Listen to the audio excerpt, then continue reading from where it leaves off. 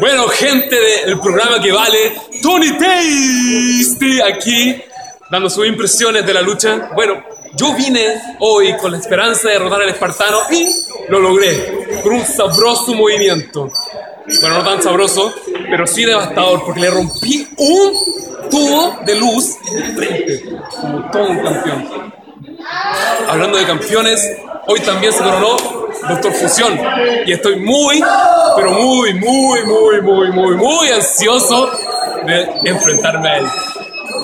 Esa es mi nueva meta. Así que Doctor Fusión, prepárate para sentir la sabrosura de Tony Tasty.